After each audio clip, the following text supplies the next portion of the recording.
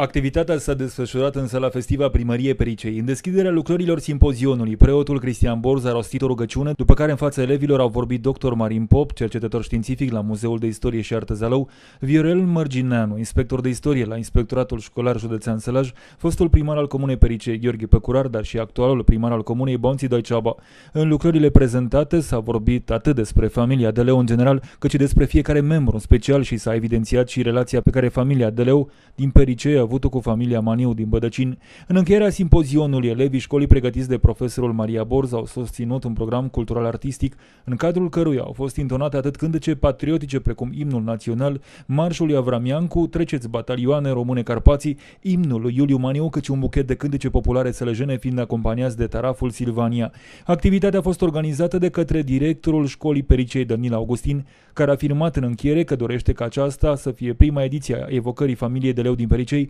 urmând ca în primăvară să fie evocată familia Maneu din Bădăcin, iar în luna mai familia pictorului Ioan Sima din Pericei.